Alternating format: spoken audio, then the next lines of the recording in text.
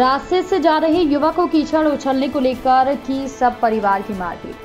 खबर IPS school झिंगुरा से आ रही है। यहाँ रहने वाली सुमन जाटव, पत्नी रमेश चन्ना जाटव ने आज एसपी से गुहार लगाते हुए कहा कि साहब 26 तारीख को मेरा लड़का रास्ते से निकल रहा था। तभी ईशू खान, समीर खान निवासी झिंगुर ने कीचड़ उछालने का बहाना बनाते हुए मेरे बेटे की मारपीट कर दी। जब हम उसको बचाने गए तो उन्होंने हमारे साथ भी मारपीट की और जाति सूचक गालियाँ दी।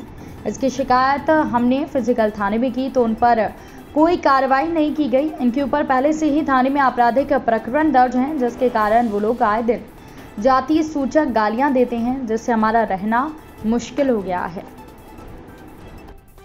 क्या नाम है दादा आपका? रमेश चंद्र जाटव कहाँ से आए हो? झिमुरा I P S school SP office आया क्या? कुछ समस्या को लेके हो एस पी ऑफ़िस आए सर।